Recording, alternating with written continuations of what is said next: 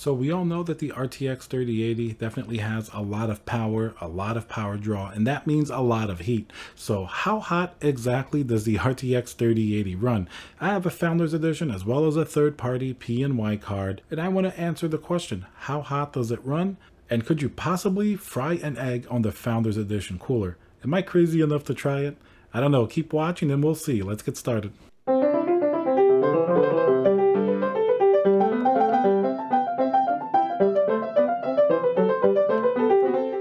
Hey guys, Thiago with Classical Technology here.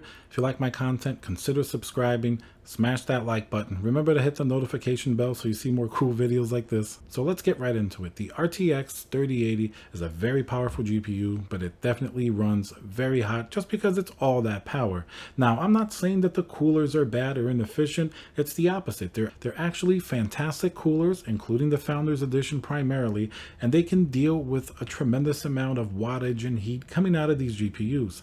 But that also means that the cooler itself does get insanely hot. I remember one day after doing some testing, I went to touch it to see how the Founders Edition cooler would feel. And I think physically it's like the hottest cooler I've ever felt. And that makes sense, I think, as it dissipates all that heat from the GPU itself. Makes sense that the cooler would stay warm. Of course, certain third-party coolers, especially if they have more plastic as opposed to like metal or aluminum, they're going to stay considerably cooler to the touch than something like a Founders Edition. But that's something that adds to the build quality quality of the Founders Edition. I just wouldn't really try to take it out of your system right after you've been gaming or doing benchmarks because you're probably going to burn your fingers. Some of the third-party cards, you can actually take it out a few seconds after. They're really not that hot to the touch, but the Founders Edition particularly definitely felt really hot. So something like a Founders Edition, around what temperatures is it actually getting to?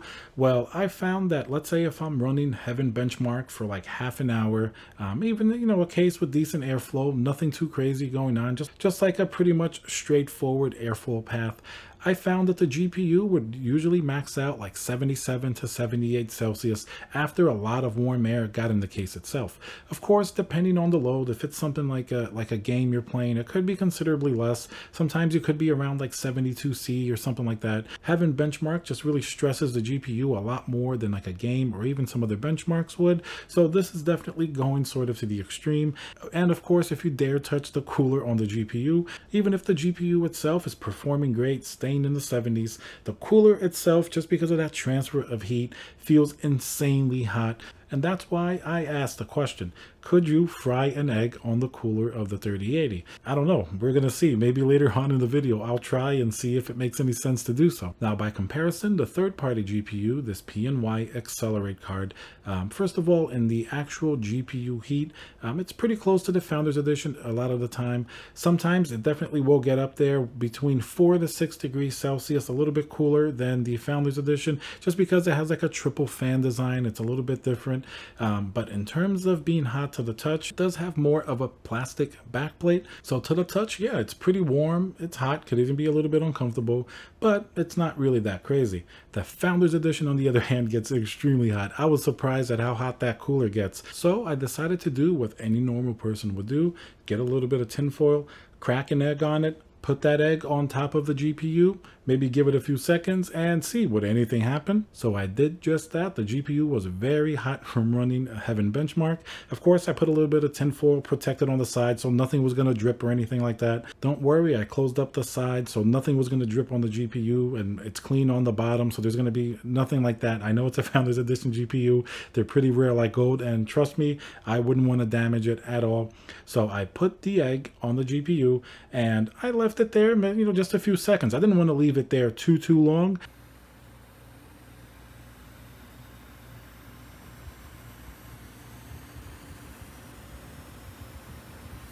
Just because it's a RTX 3080 and I'm putting an egg on it. Like I don't want it to start like spewing stuff and staining it or something like that. So to my surprise, even leaving it there just a few seconds, as I pulled it out, the yolk definitely was hardening. It got considerably harder just from a few seconds of that heat.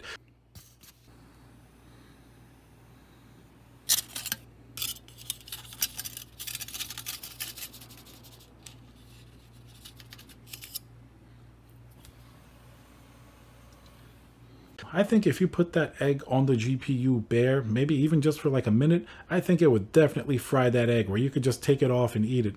Like just a few seconds through the tinfoil, it hardened considerably. So that shows you the amount of heat that's transferring first from the GPU to the cooler. Of course, the fans have that nice heat pipe design. I spoke about this NVIDIA cooler previously. It's a really cool pass-through design.